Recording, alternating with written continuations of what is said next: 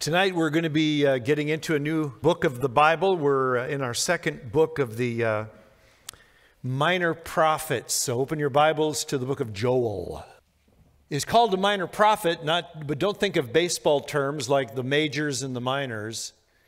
It doesn't mean that they are uh, not as talented.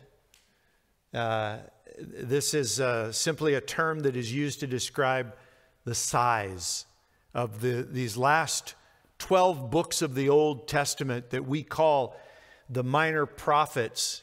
And if you're in Joel chapter 1, you'll notice that it begins by saying, The word of the Lord that came to Joel, the son of Pethuel. And there are some significant things about this very first verse that I want to talk to you about. And the first is we don't know anything about Joel. We know nothing about this well we know his father's name was pethuel and we don't know anything about pethuel so there. So essentially we don't know anything about joel. We don't really even know when this was written because you'll notice that this prophecy doesn't start off with any kind of a dating structure.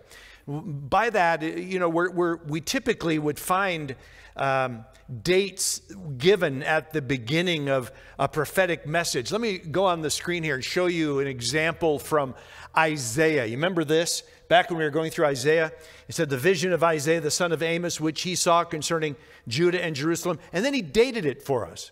And he, he basically said that during the reigns of Uzziah, Jotham, Ahaz, and Hezekiah, which covered obviously a pretty good period of time, uh, Isaiah was actively ministering prophetically uh, to Judah. But for some reason, Joel doesn't do that. Joel doesn't date his prophecy. And that's interesting. It's significant. I, I think it's significant. And I'll tell you why. First of all, the message that Joel is bringing to the people of the land came during a time of difficulty. And the difficulty that he's going to explain as he gets into this is that they had just recently gone through uh, a terrible drought and locust infect, uh, infestation in the land, and those could be devastating, tremendously devastating. But what he's going to do during the course of this short book, it's only three chapters long, is he's going to relate that locust infestation to another calamitous event which is yet in the future, and in fact has not yet come to pass. Joel is going to use what happened in the land to speak of a greater work of the Lord, which he will call the day of the Lord. In fact, he will make reference to it as the day of the Lord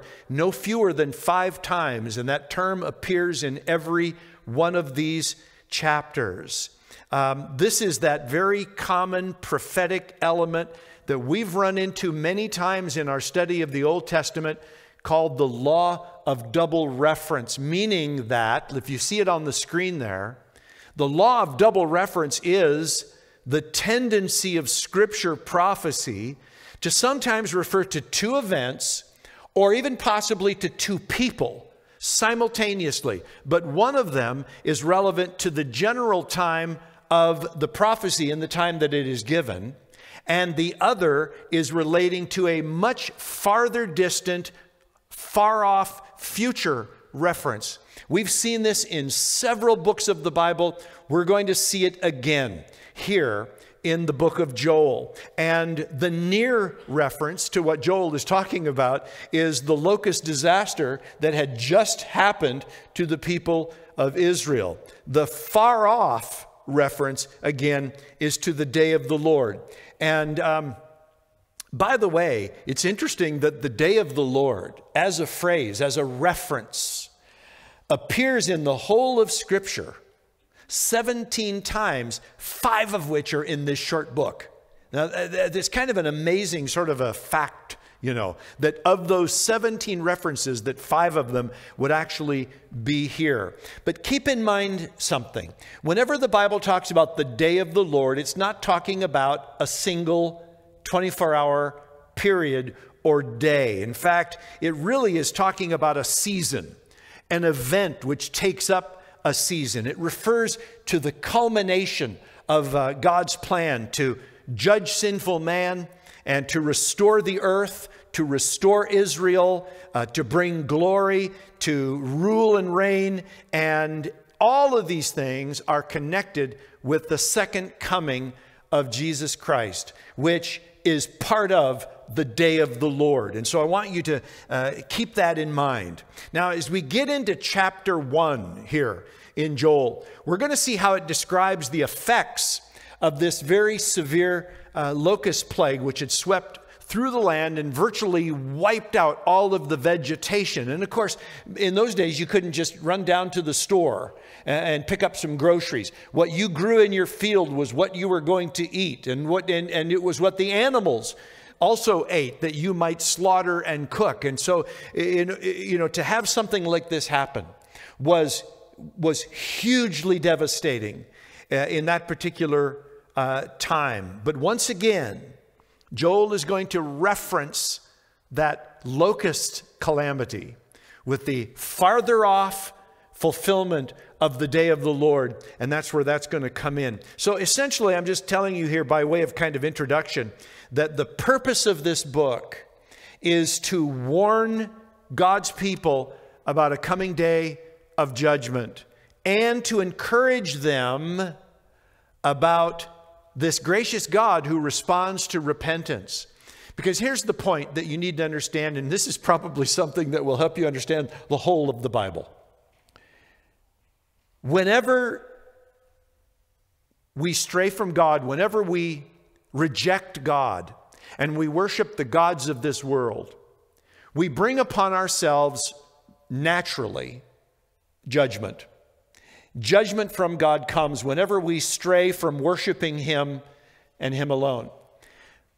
But that judgment need not happen for anyone because God has made a provision to make sure that we would never experience his judgment. And that provision begins with repentance and turning back to God. No one ever, ever has to experience the judgment of God. Nobody has to. I, I, get questions sometimes. People get all kind of lathered up and they're like, well, how can you believe in a God that just casts people into hell just because he doesn't like them or whatever? No, no, no, no, no. You've missed the point. You've missed the point of the fact that, that judgment is the natural outcome of his pure and righteous and holy nature.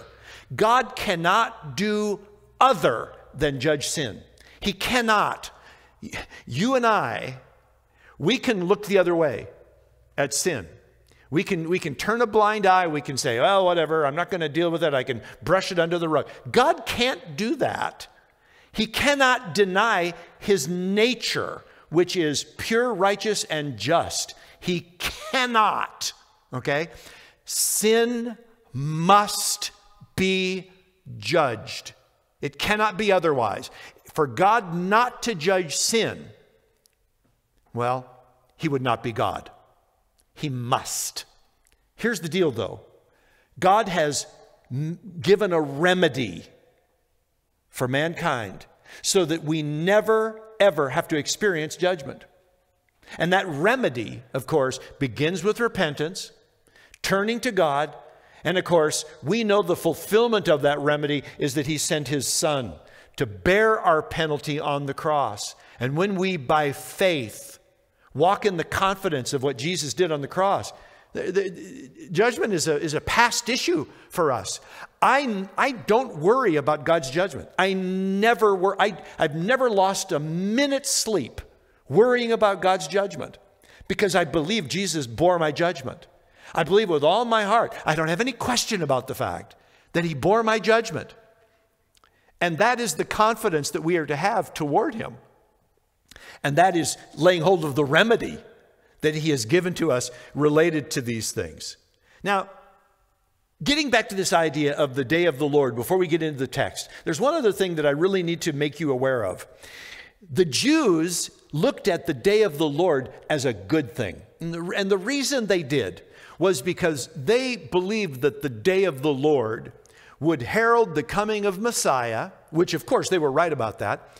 But they believed that the coming of Messiah would only judge the enemies of Israel and restore them to their glorious kingdom. And so they looked forward to the day of the Lord. They would talk about the day of the Lord like, oh, the wonderful day of the Lord. One of the things that God is going to make clear through the course of this prophecy, and he does with ever other prophetic books, eh, particularly in the Old Testament, is to make clear to the nation of Israel that it is not something for them to look forward to. It is, in fact, even for Israel, going to be a time of great testing. In fact, elsewhere in the Bible, it refers to the day of the Lord as the time of Jacob's trouble. And that refers to the great tribulation when there will be terrible, terrible times. And God warned the nation of Israel over and over about those terrible times that would come for Israel, not just the world. But Israel would enter into a period of judgment as well during that time. But the Jews were often blind to this. Now, Jesus reiterated the message of the Old Testament prophets, and he spoke to the nation of Israel. And he likened, in this law of double reference, the Great Tribulation with the fall of Jerusalem in AD 70. And that was another instance of this law of double reference. And he would say things to the Jews like, You better hope that this doesn't happen on the Sabbath. Or how terrible it will be in those days for nursing mothers and so forth.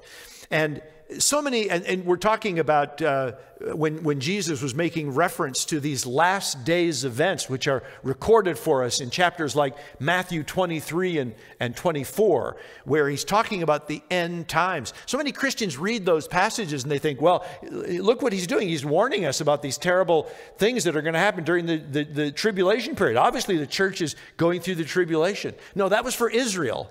Those warnings were for Israel, just like they are given here in Joel as well. Even though God moves on eventually and gives them words of encouragement. So let's get into uh, Joel chapter 1 here. We've already read verse 1. Moving on to verse 2, it says, Hear this, you elders. Give ear, all inhabitants of the land. Has such a thing ever happened in your days or in the days of your fathers? And he hasn't told us yet what he's even referring to. He says in verse 3 Tell your children of it, and let your children tell their children, and their children to another generation. And here's what he wants them to retell and to remember what the cutting locust left, the swarming locust has eaten. What the swarming locust left, the hopping locust has eaten. And what the hopping locust left, the destroying locust has eaten. And so the Lord is making reference to these four different phases of these loc- this locust infestation that comes upon the land. And he basically tells them Think about this. Just think about the last time this took place. Can you even remember? Do you even know when this happened? This has so devastated the land that God wanted them to pay attention to what was happening because what was happening was a response of the Lord to the people's disobedience and this whole devastating locust invasion that had decimated their crops was what the Lord brought as a response to that disobedience, to that rebellion. And so he's telling them to look at what's happened and to think about it and to ask them the question Have you ever seen anything like this before? He's calling them this to their remembrance. Um, I don't know if you've ever seen a locust infestation. I think probably most of you know that a, a locust is a, a, kind of a grasshopper.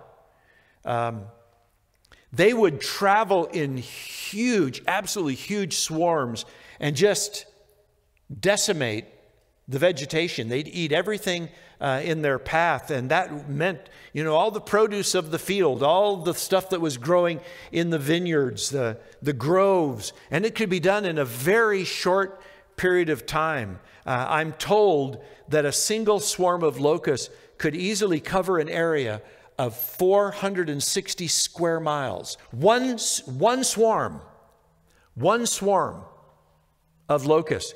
Now, the last time The last recorded locust swarm in Israel was actually in 1915.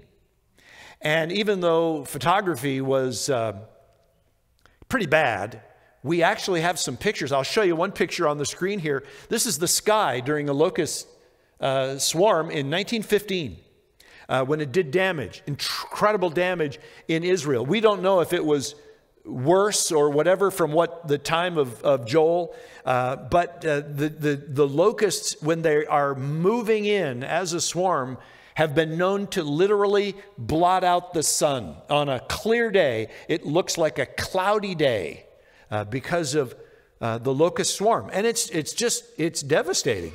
And the reason the people of Israel are told by God to pay attention to this whole affair is because this is exactly what God had warned them about and told them would happen if they persisted in their rebellion and their disobedience and in the worship of other gods. You might remember that, that uh,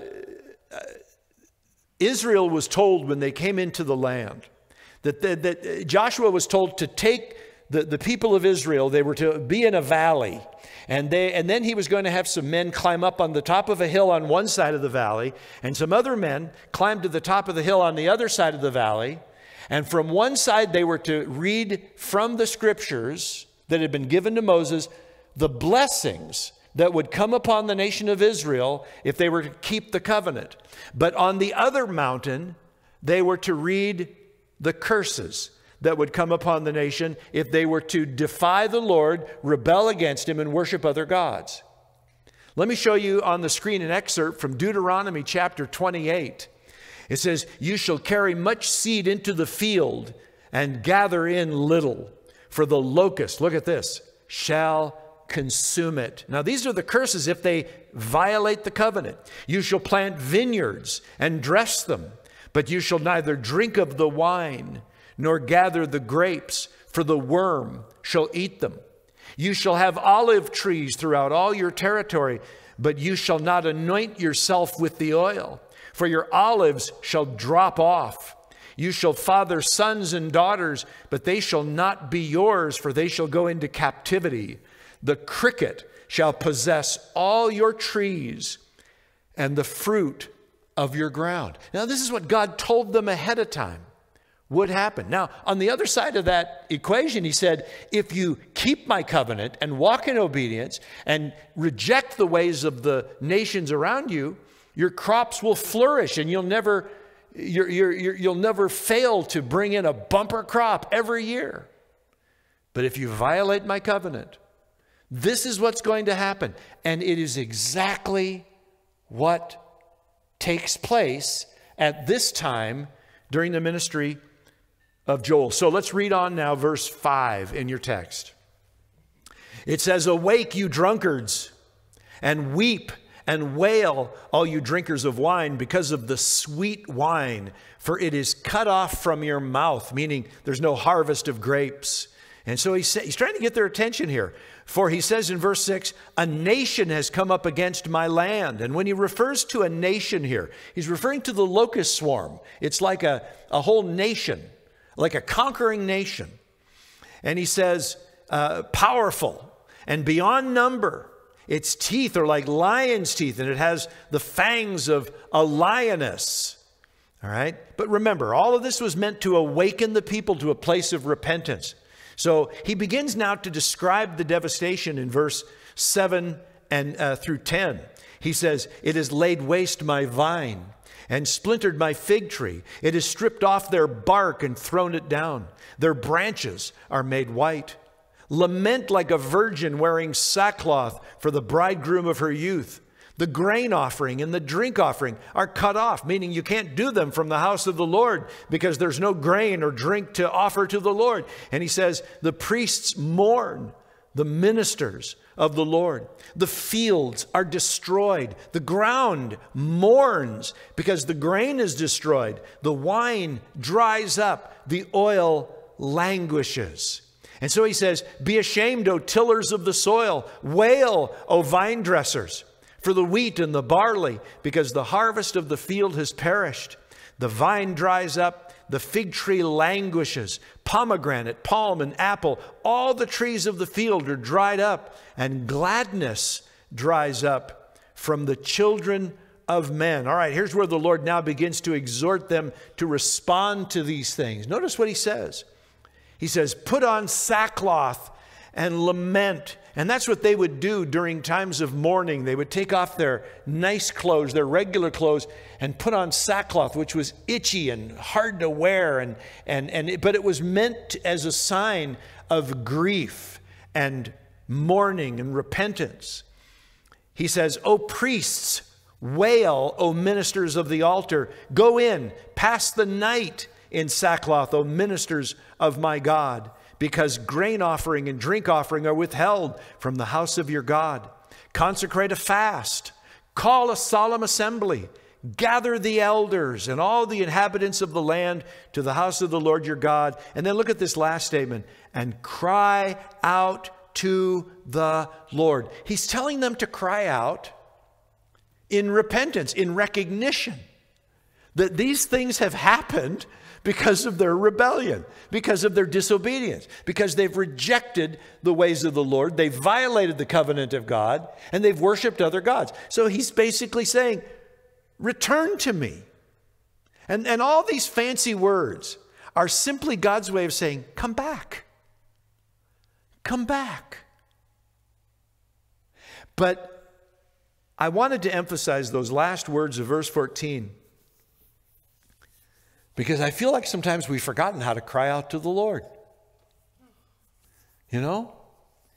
I mean, I get, I get people pretty regularly asking me what to do about what's going on in their life. And my response is often very much in keeping with this, not necessarily because there's an issue of disobedience in their life, but just because there's a need to cry out to God. It's like, what are you writing me for? Why are you asking me questions about what to do? Cry out to God. I, I, saw somebody with a t shirt. It said, it was really great. It says, Talk to God about it. I really like that. I think I'm going to get one of those because that is, that is the answer. Talk to God, cry out to Him. Don't complain to your neighbor, don't get discouraged and depressed. Cry out to God. We got to learn how to cry out again. We really do. We need to learn how to cry out. Now, this is where the Lord is going to begin to talk to them about a day that is to come. He says, Alas for the day, for the day of the Lord is near. Now we know he's talking about something else other than the locust infestation because the locust infestation has already happened. Now he's talking about something that is near. It's coming, all right? And he says here, and as destruction from the Almighty, it comes. And then it's interesting here. Joel seems to be writing now this final part of the chapter from his own perspective as he's looking out at the land around him. So as you read these words, think about uh, Joel himself just looking at the land that's been decimated and uh, observing. He says, Is not the food cut off before our eyes? Joy and gladness from the house of our God? The seed shrivels under the clods of dirt the storehouses where they would store the grain for, for other days. He says they're desolate. The, the granaries are torn down because the grain is all dried up. And the beasts, he says, how the beasts of the field groan. The herds of cattle are perplexed because there's no pasture for them to graze in. And even, he says, the flocks of sheep suffer. To you, O Lord, I call. I call, he says, for fire has devoured the pastures of the wilderness, and flame has burned all the trees of the field. Even the beasts of the field pant for you, because the water brooks are dried up, and fire has devoured the pastures of the wilderness. And so you can kind of see here that it the picture that's being painted for you and me from this first chapter of Joel is a pretty desperate situation for the people of Israel at this time because of their disobedience, because of this locust and what sounds very much like a drought that went along with it. The people are in desperate straits and they are being told now to cry out to the Lord, to turn back to the Lord and to repent. Now, now that the Lord has described all of this devastation, He's going to go on now in chapter 2 to speak of the future. All right? So now we're going to, we, we've been talking about for Joel, what is the present. Now we're going to talk about the future. Verse 1, chapter 2 Blow a trumpet in Zion, sound an alarm on my holy mountain. Let all the inhabitants of the land tremble, for the day of the Lord is coming. Now we know again, we're talking about another event, not the locust swarm, but something the locust swarm points toward, and that is the day of the Lord. And as Joel says here through the Lord, uh, it, is, it is near. Uh, or your Bible, if you have a different translation, says it is coming. And then the Lord describes this future day to come. He says, a day of darkness and gloom a day of clouds and thick darkness. Can you see why the Lord likened the day of the Lord to the locust swarm? As I've already mentioned, when the locust would come into an area, it would blacken the sun. They wouldn't they literally couldn't even see the sun for all the locusts. But notice how God now describes the day of the Lord. He calls it a day of gloom, a day of darkness, thick darkness, a day of clouds that will cover the sun, right? He says, like blackness, there is spread upon the mountains a great and powerful people. Their like has never been before, nor will be again after them through the years of all generations. And that is a phrase that is often used related to the events of the Great Tribulation. When whenever we're talking about the Great Tribulation, you can tell that it's referring to that period of time by the fact that the Bible says that it will be a day unlike any other. In other words, there have been bad days in the history of mankind. This one is going to eclipse them all. And, and, and so that is one of the things that is consistent uh, with referring to the tribulation period. Verse 3 Fire devours before them, and behind them a flame burns. The land is like the Garden of Eden before them, but behind them, a desolate wilderness, and nothing escapes them. Now, I want you to notice how Joel is, through the Lord, describing the day of the Lord. Now, this is something the Jews didn't necessarily like to think about and often didn't even apply to themselves. But Joel is, is, is making it very clear that the day of the Lord is going to be a day of gloom, it's going to be a terrible day. And he then begins to talk about this enemy that's going to come upon the land just like the locusts and decimate it. He says the land is going to look like the Garden of Eden before they get here, but as they pass over the land, it is absolutely going to be a wilderness. And they will decimate the land. Now he's talking about the things that are going to lead up to the final battle of Armageddon because there is going to come against Israel during the end or toward the end of the Great Tribulation a huge army that is going to attempt to obliterate Israel from the face of the world. All right? And God is speaking now about this future battle, which we call the Battle of Armageddon. And uh, it is going to be a terrible time for Israel. Terrible, terrible time.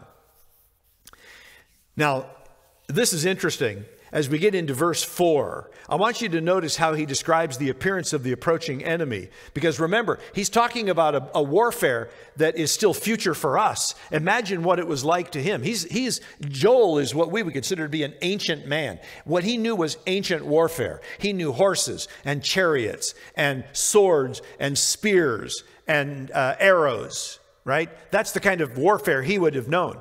Well, how do you take a man that lived, you know, we're not even sure. Let's say he lived in the 7th, 8th century BC, for example. and you begin to show him visions of future warfare that, that uh, involve things that he, he can't even imagine in his mind. Well, I want you to notice the language that he uses.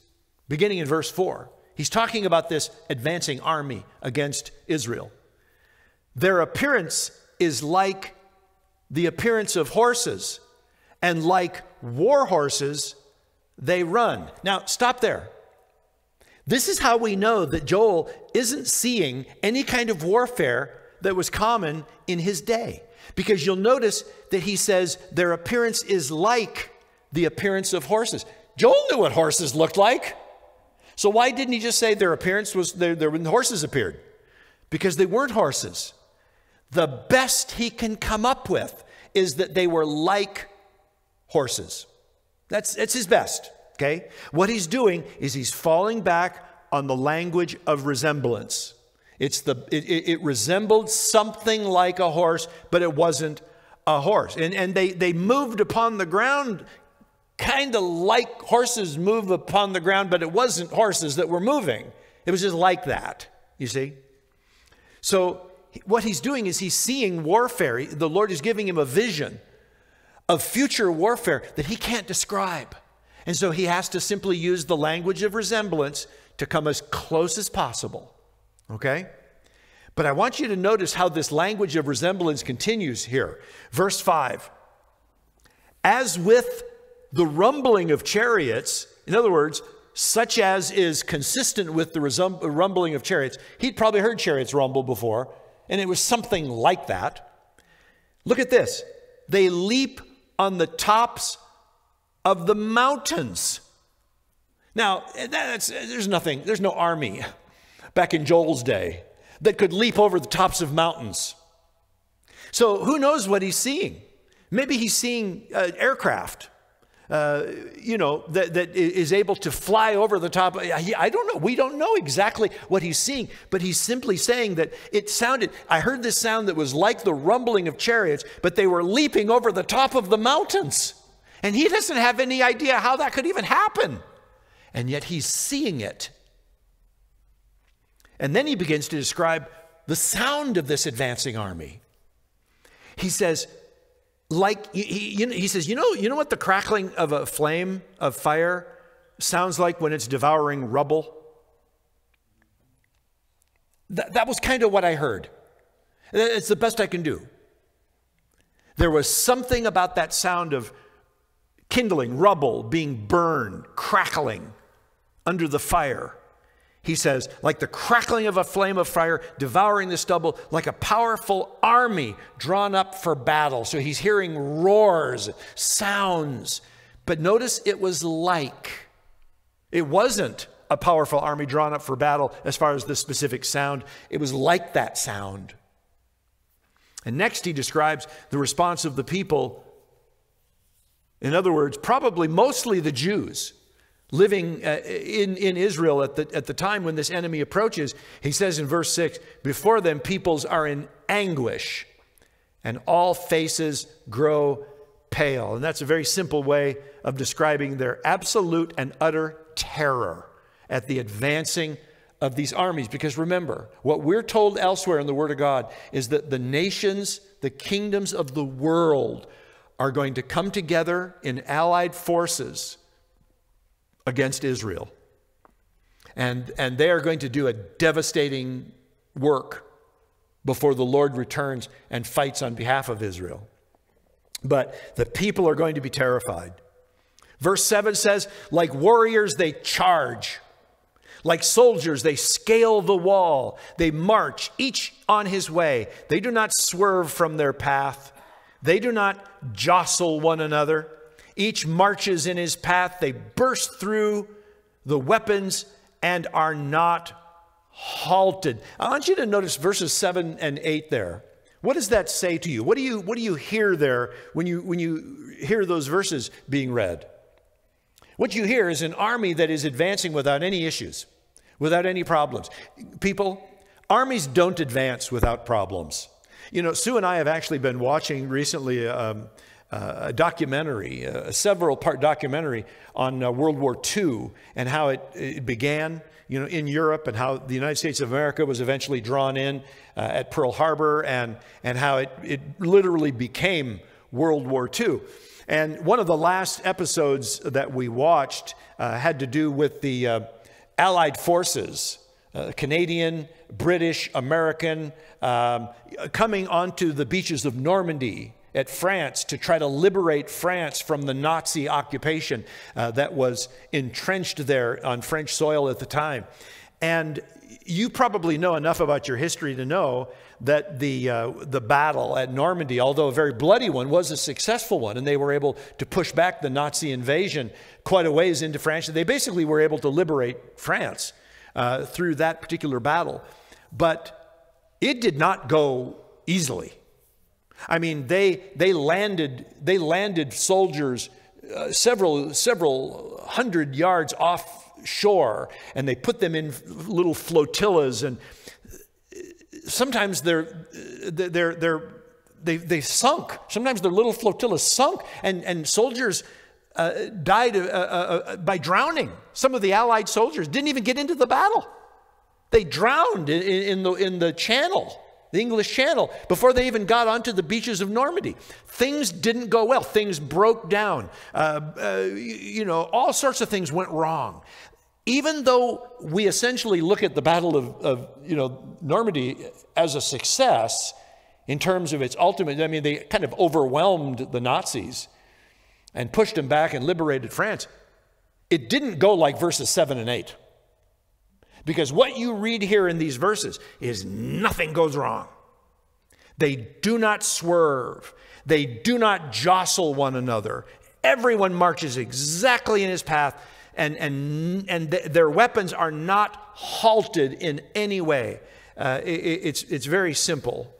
Uh, things just don't happen that way, but they're going to happen that way now because the Lord is going to allow a period of judgment to come upon his people Israel during this time.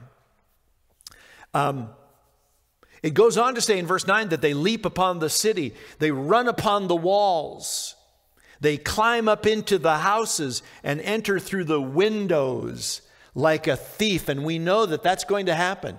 Those allied forces that are coming against Israel during this battle are going to make their way into Jerusalem, and people are going to be killed, and women are going to be raped, and there's going to be some terrible stuff that happens before the coming of the Lord to push back the enemies. And it goes on to say in verse 10 that the earth quakes before them, meaning this advancing army. The heavens tremble, the sun and the moon are darkened, and the stars withdraw their shining. And I want you to notice that in verse 10. These occurrences of signs and wonders in the heavens are unique to the day of the Lord. And that is something, and this is, this is not a, a locust invasion this time. There is going to be cataclysmic events taking place in the heavens as well as on earth during this time of the great tribulation. And with all those wonders and signs in the sky and in the heavens, will come the appearance of the Lord Himself into battle. Look at verse 11. This is the coming of the Lord. It says, The Lord utters His voice before His army, for His camp is exceedingly great. By the way, we're going to be part of that camp. The angels and the saints of God are going to return with him, and we are going to be part of that camp, and it will be exceedingly great. And it says, He who executes his word is powerful, for the day of the Lord is great and very awesome. But here is an important question Who can endure it? And that is a word to Israel. That is a word to Israel. Okay? Now that God has described this future judgment, this day of judgment, the day of the Lord, he once again turns to his people to encourage their proper response to all this. He says, Yet even now, declares the Lord, return to me with all your heart, with fasting, with weeping, and with mourning, and rend your hearts and not your garments. It was common, it was traditional back in those days for the Jews to, as a sign of grief, to take hold of their clothes and rip them uh, and, and that was a sign of mourning, but it became a sign that anybody could do, even if their heart really wasn't in it. And so God said, I don't want you to rip your clothes. I want you to break your heart. I want you to have a broken heart before me. As David said, a broken and contrite spirit, O Lord, you will not despise. And that's what God is saying to them. He says, Return to the Lord your God, for he is gracious and merciful, slow to anger, and abounding in steadfast love, and he relents over disaster. Guys, I don't know if this is highlighted in your Bible, verses 12 and 13, but it should be. If, if you have a Bible and you write in your Bible, which I think is a good idea, it's like, hey, if it start gets to the point where you can't read it, get a new one. But the point is, this should be highlighted in your Bible because this is the remedy for judgment. And this is the remedy whether it's in the Old uh, Testament under the Old Covenant or in the New Testament under the New Covenant. Return to the Lord. Repent. Return to the Lord. Break your heart. You know, why? Because He's gracious and He's merciful and He's slow to anger and he is overflowing in steadfast love, and he relents of disaster. God will relent if we would but turn to him. Right? This is a promise from the Lord. Why wouldn't we do it? Why wouldn't we why wouldn't we take this remedy for judgment? See, this is the point that I was making earlier as we just started Joel. I was saying that whenever, whenever there's rebellion against God, there's going to be judgment. There has to be judgment. But God made a remedy. He came up with a remedy. What's the remedy? Return to the Lord, repent, go the other way. And don't get weirded out by the word repent. It just means turn around and go the other way. Change of mind. You're going that way? Stop. Go this way. Go toward the Lord. Return to the Lord. That is what repentance is. And that's the, the remedy for judgment. And nobody Nobody, and, and this is important, when people get in your face and they start talking about your judgmental God, you look them back right square in the eye and you tell them this nobody needs to come under judgment because God has made a way for them to be saved. He has given them a remedy in His Word, and it is repent and turn to the Lord, cry out to Him, and you will not come under judgment. You will not. It's as simple as that. I mean, the, you, can, you can take the gospel and build it out of verses 12 and 13 easily. It says in verse 14, Who knows whether he will not turn and relent and leave a blessing behind him, a grain offering and a drink offering for the Lord your God. Now, I want you to notice the urgency that is expressed in these following verses. Blow the trumpet in Zion consecrate a fast, call a solemn assembly, gather the people, consecrate the congregation, assemble the elders, gather the children, even nursing infants, bring them along. You can't I can't come, I got a baby. Bring the baby. Look what else he says. Let the bridegroom leave his room and the bride her chamber. You know what he's talking about? He's talking about a couple that just got married. They're in their, on their honeymoon. They called it in, in, in Jewish, uh, it was the bridal week. He says, You're in the middle of your bridal week? Leave. Come. Come. There's an urgency here to return to the Lord, to pay attention. And he says, verse 17, between the vestibule and the altar, let the priests, the ministers of the Lord, weep and say, Spare your people, O Lord, and make not your heritage a reproach, a byword among the nations. Why should they say among the peoples, Where is their God? Then the Lord became jealous for his land and had pity on his people. The Lord answered and said to his people, Behold, I'm sending you grain, wine, and oil, and you will be satisfied, and I will no more make you a reproach among the nations. God's talking about what's going to happen after the battle of Armageddon. I will remove the northerner far from you, and drive him into a parched and desolate land, his vanguard into the eastern sea, and his rear guard into the western sea. The stench and foul smell of him will rise, for he has done great things. Fear not, O land, be glad and rejoice, for the Lord has done great things. Fear not, you beasts of the field, for the pastures of the wilderness are green. The tree bears its fruit, the fig tree and vine give their full yield. Be glad, O children of Zion, and rejoice in the Lord your God, for he has given the early rain for your vindication. He has poured down for you abundant rain, the early and the latter rains, as before. The threshing floors shall be full of grain, the vats shall overflow with wine and oil. I will restore to you the years that the swarming locust has eaten, the hopper, the destroyer, and the cutter, my great army, which I sent among you. You shall eat in plenty and be satisfied, and praise the name of the Lord your God, who has dealt wondrously with you. And my people shall never again be put to shame. You shall know that I am in the midst of Israel, that, and that I am the Lord your God, and there is none else and my people shall never again be put to shame. And it shall come to pass afterward that I will pour out my spirit on all flesh. Your sons and your daughters shall prophesy, your old men shall dream dreams, and your young men shall see visions. Does that sound familiar? That was quoted by Peter. And the beginning of that outpouring took place at Pentecost. That the, the feast of Pentecost, when the, the believers were gathered and the Lord poured out his spirit, as we read about in Acts chapter 2. But that was the beginning of the outpouring. The final fulfillment comes later. Even on the male and female servants in those days I will pour out my spirit, and I will show wonders in the heavens and on the earth, blood and fire and columns of smoke.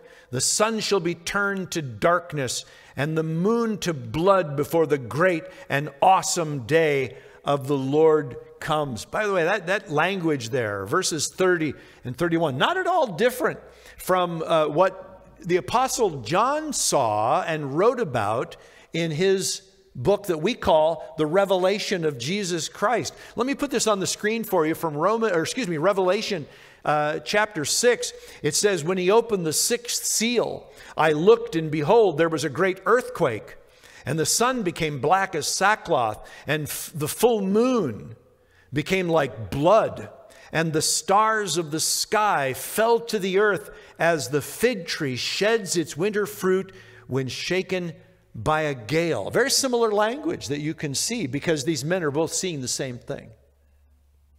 They're both seeing the same thing. Joel is seeing it a long time before, John is seeing it a long time before, but they're seeing the same event. This time of the great tribulation when the heavens are literally shaken. And, it, and, and I want to highlight the first part of verse 32. And it shall come to pass that everyone who calls on the name of the Lord shall be saved. And there's, again, there's the gospel. That's another verse for you to highlight in your Bible. Who can be saved? Everybody who calls on the name of the Lord. Are you sure, Pastor? You, you don't know what I've done. I know what he did. I know what he did. I, I, people say that to me all the time. When they, they, they'll, they'll tell me that they doubt their salvation. I say, Why do you doubt your salvation? Because of what I've done. There's a promise in the Word of God that all who call upon the name of the Lord will be saved. So call upon the name of the Lord, get your eyes off your sin, and put them on the Savior. That's the solution, by the way. You sit and look at your sin, you're going to be depressed. I mean, you're going to be one depressed puppy. Get your eyes off yourself. That is the trap of Satan. I'm telling you, that is the devil's trap get you thinking about yourself. I'm just, I'm such a terrible person. I'm awful. I don't think I can be saved. You know what that is, people? that self centeredness that's gone bad. That's all it is. It's, it's self absorption that has gone negative. It's the opposite of vanity, but it comes from the same root. The root is self absorption, whether it's vanity or whether it's self deploring, you know, self abasement. It all, it's all tied to self. And never will you walk in the joy of the Lord when self is the focus of your life. Only when you put Jesus as the focal point of your attention will you begin to walk in any sort of light. And it shall come to pass, verse 32 again, that everyone who calls on the name of the Lord shall be saved. You know, the Apostle Paul picked up on this when he wrote, let me show you this Romans 10. He quoted this. For with the heart one believes and is justified, and with the mouth one confesses and is saved. For the scripture says, Everyone who believes in him will not be put to shame. For there is no distinction between Jew and Greek. We're all saved the same way. For the same Lord is Lord of all, bestowing his riches on all who call on him. Here's a quote from Joel For everyone who calls on the name of the Lord will be saved. Period. You want to be saved? Call on the name of the Lord. Trust in him you will be saved. Period. Exclamation point. Finishes out the chapter saying, For in Mount Zion and in Jerusalem there shall be those who escape, as the Lord has said. And among the survivors, your Bible may say remnant, shall be those whom the Lord calls. So God is going to, even in that terrible destruction of Jerusalem during the tribulation period, there will be those who escape. There will be survivors. There will be a remnant. Chapter 3. We're going to do this fairly quickly. For behold, in those days and at that time, when I restore the fortunes of Judah and Jerusalem. So, you know what chapter 3 is about, don't you? The restoration. He says, I will gather all the nations and bring them down to the valley of Jehoshaphat. Why does he call it the valley of Jehoshaphat? Well, it's because Jehoshaphat means the Lord judges. And it's another way of saying the valley of judgment. He says, I'm going to bring, I'm going to, I'm going to gather the nations of the world and I'm going to bring them to the valley of judgment. He's describing the, the, the battle of Armageddon. And I will enter into judgment with them there on behalf of my people and my heritage Israel, because they have scattered them among the nations. And look at else that he says they've done. They've divided up my land. You look at that. Yeah, that's even going on in our day. They're still dividing up Israel. And God says, I'm going to judge them because they divided up my land. I gave them that land. I gave it to them. They had no right to divide it. And God says that will be part of the judgment. He says, and they have cast lots for my people, and they've traded a boy for a prostitute, and they've sold a girl for wine and have drunk it. What are you to me, O Tyre and Sidon, and all the regions of Philistia? Are you paying me back for something? If you are paying me back, I will return your payment on your own head swiftly and speedily. For I have taken my silver, or excuse me, for you have taken my silver and my gold and have carried my rich treasures into your temples. You've sold the people of Judah and Jerusalem to the Greeks in order to remove them far from your, their own border.